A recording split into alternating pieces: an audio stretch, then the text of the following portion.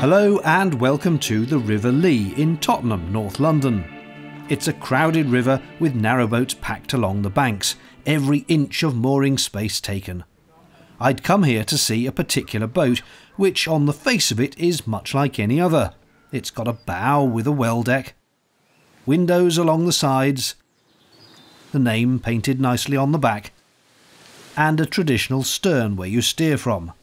But the whole boat is tiny. The maximum length of a narrowboat on the British Canal system is about 72 feet, and most people take 57 as a good go-anywhere sort of length. But this one is at the other extreme. It's only 24 feet long. And perhaps that is best illustrated with the time-honoured tradition of the stride. One, two, three, four, and a small one, just to get to the end. The boat was built in 1991, um, same age as me, and was built by M&N Narrowboats. It's got an 18 horsepower Nanni diesel, um, two leisure batteries and a starter battery. Looking around the boat from the outside, you see a small locker for propane bottles for cooking. An offset door to the well deck sits aside a large bus-type window. The usual complement of mooring ropes are on the roof, and there's enough space for a couple of solar panels. A chimney hints at the heating within. Just inside the rear doors are the engine instruments and controls. Like many narrowboaters, Ben had limited experience before he bought Bramble. I had only been on one, um, and it was for a very short party. Um, but I've, I've always been ar around the canals near Camden Town, um, and I'd, I'd, i knew that I'd always wanted one eventually. I saw it on a marketplace online uh, and went to visit it straight away. It was quite close to where I was, so uh, I snapped it up quite quickly. The interior is minute, but has everything you need to live.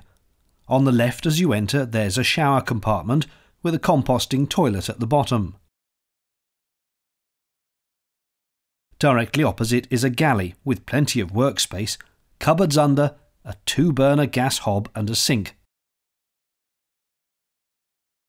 There's a little shelving on the wall for catering knickknacks. Behind the shower lies the wood burning stove, which can easily heat a space this small. Finally, at the bow, the bed occupies the width of the boat and doubles as a seating area in the day. The space underneath is not wasted, of course. The frame lifts to reveal capacious storage below. With such large windows, the boat feels bright and not at all cramped or gloomy inside. Rugs help the feeling of warmth, while wall hooks and shelves means there's space for bits and bobs. There's lots of storage. Uh, the whole of the under the bed, uh, all the kitchen cupboards and uh, storage areas are quite useful. The space in itself is lovely, but I think it would be nice to have a, a couple of extra centimetres head height, because uh, especially when I'm drinking out of a bottle, you, you tend to hit the ceiling with it, so uh, that would be nice. And uh, when I'm laying down in bed, I can just about touch either side with my head and feet. As Ben mentioned, the engine is a small diesel which sits under the back deck, and is helpfully accessible for maintenance. Whoa, look at that lovely dry bilge. Like me, Ben has a tray under the stern gland to catch water drips. Also easy to access is the weed hatch in case of anything fouling the propeller. A 24 foot boat is light and easy for one person to manage. Being in central London and the London area a lot, there's uh, minimal mooring spaces. So having such a short boat, it really makes my job a lot easier to find a mooring. Um, and also in the narrower stretches, I can turn around on a sixpence.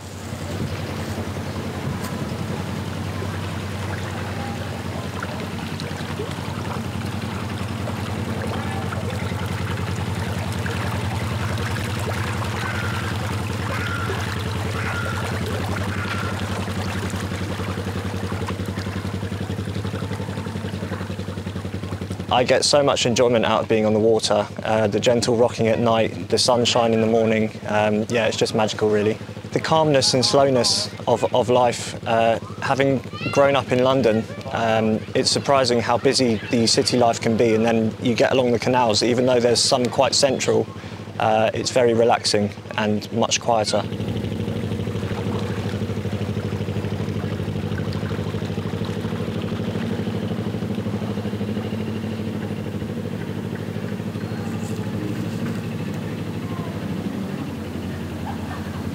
Ben's isn't the only tiny narrowboat on the system, of course. On the other side of London, at Teddington Lock, there's a secure set of moorings where an even smaller narrowboat lives. This is the 22 foot Miss Tadpole, who fell into her owner's hands two years ago through one of those peculiar twists of fate. We need to cut back to June 2020 lockdown. And people were just allowed to go back out again on the rivers. And I was canoeing with a friend from Ham which is just down the river here on the Thames. And we were canoeing down and there's a little beach opposite Miss Tadpole. And we stopped off at the beach and we got our little camping stove out an espresso pot and we were having a coffee. And I was looking across at this tiny little narrowboat thinking how cute is that? So I brought the canoe over and I had a little poke around lifted up the shutters had a little peek inside and I had a little dream and I thought, oh, I wish I could have a little tiny narrowboat like that. It'd be so cute. Cut to two weeks later, and my friend was back canoeing here, and then the previous owner was on the deck, and he shouted over, "My friend Lynn loves your boat." She said it's for sale. So we swapped numbers, and about three days later, I came to look at her, and within a week, I'd bought her.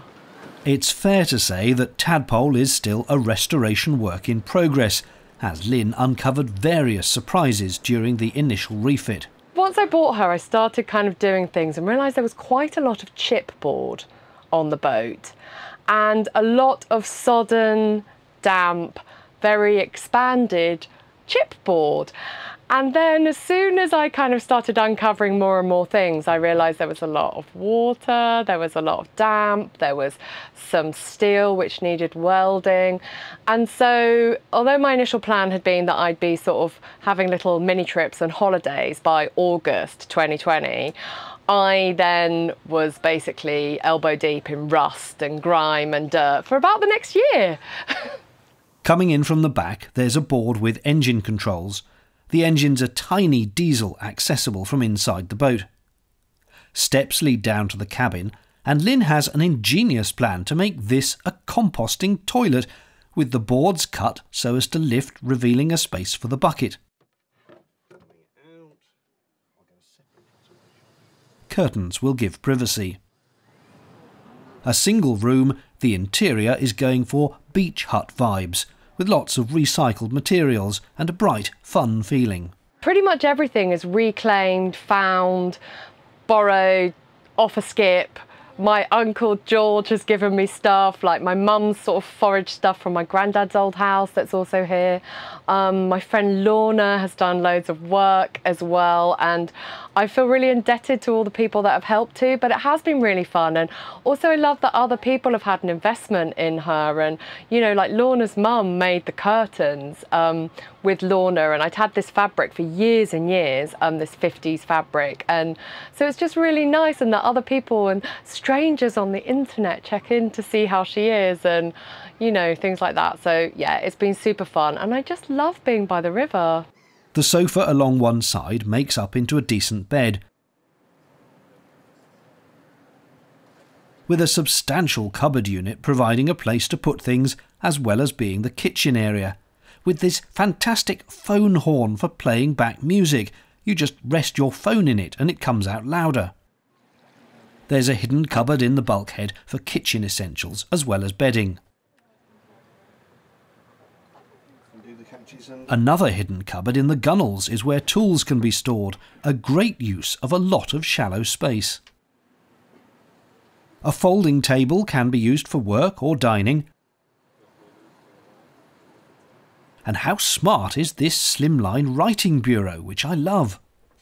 The wisp of a stove is unlike any other I've seen in a narrowboat. And steps lead up to a tiny well deck for sitting in the sun, with a water tank underneath the deck and a gas locker in the bow. Beach hut was the aim, and I'd say it's been achieved, and much more, during the pandemic. I work in the theatre and I didn't have any work and I was really struggling being indoors all the time and I was really struggling not working or seeing my friends and I didn't really have that much to do. And so I basically came here every day, roped in various different unemployed friends from the theatre business who also came to help me out. And it became an absolute lifesaver for sort of mental health and to be physically active and outside. So I was swimming in the river and doing all of this work and having never really done any DIY or anything like that before, it was a really steep learning curve, but also kept me super busy, kept me super active. And there were times when I was sort of crying and tearing out my hair and just thinking, this is never going to be in any fit state for anything. What on earth have I done? To sort of slowly falling back in love with her and you know, and feeling really proud of all the work that I'd done and, you know, learning about bilges and ballast and Owatrol and red oxide and all of these things that I was covered in for months and months. Lynn's plan now is to get the engine and gearbox fixed by spring so she can cruise along the river but she's still open to offers. If anyone wants to come and help me, uh, I'm always looking for people to come and help. If you want to come and do some painting or some sanding or, you know, we've still got some electrical issues going on here. So if anyone wants to volunteer their services, then Lynn and Miss Tadpole will always get the kettle on for you.